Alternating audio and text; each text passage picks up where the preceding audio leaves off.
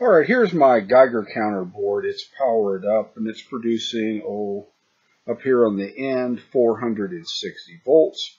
This is a surplus um, Russian Geiger tube, piezo buzzer.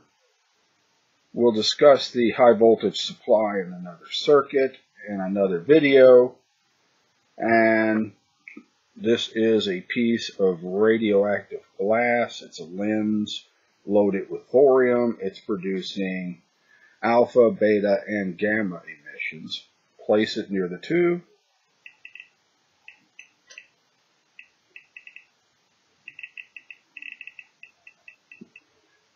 You hear the uh, clicks, and you should be able to see the video. It's a very brief flash from that LED that's pretty much all there is to this.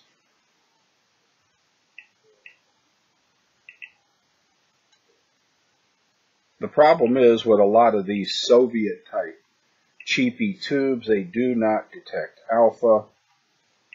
And thorium is a fairly good alpha emitter, but the tube won't detect that. It's, it's detecting the secondary beta and gamma emissions.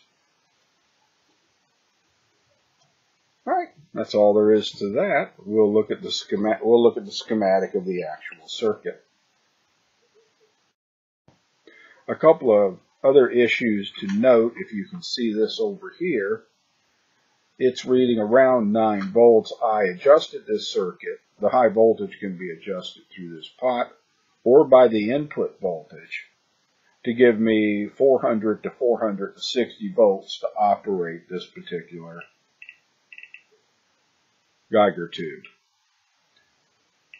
Like I said, the tube, the tube is rated 400 to 460 volts. I set it right at 460. It does a little better job.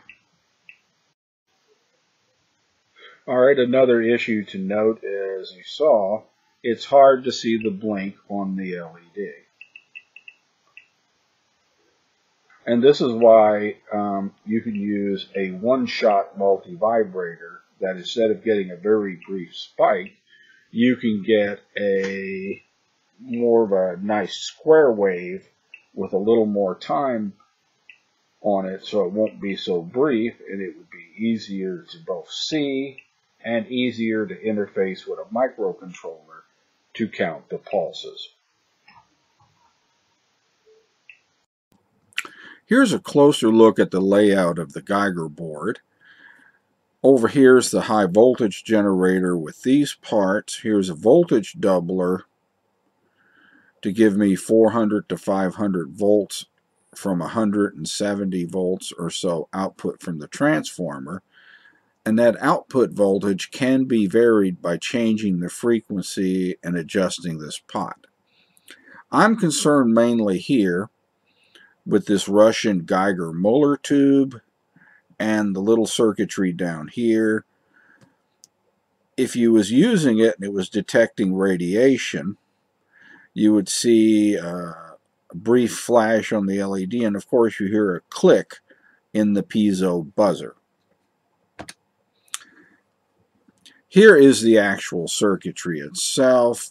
The voltage go, here's your Geiger tube, a 10 meg resistor to ground, a 47 picofarad capacitor, a 4.7 meg resistor between the capacitor and the MPSA 13 Darlington transistor. Here is your LED and its resistor, and here is the piezo speaker or piezo buzzer. This circuit operates at 9 volts. And that's all there is to this. Let's we'll explore other aspects of this. One of the things you'll notice in the video is that the blinks are hard to see on the uh, LED because the pulses are so brief. A solution to that would be a one-shot multi-vibrator, which we will address in a separate video, but part of this video will show you the output from a similar Geiger counter circuit and what it does when we send it through a one-shot multi-vibrator. What we'll be looking at this time is the output from my Rad Alert 50 Geiger counter. This is taken of the actual output from the tube and I'm going to hold a radioactive source, test source, up to the device. You notice the pulses down here come directly from the tube, but I can control the output pulse width with my multi, uh, multi-vibrator. And while it might be a little hard for you to see, this creates output pulses that are easier for an Arduino or similar microcontroller to read. Let's kill the sound a bit. There we go. If you look at your pulses,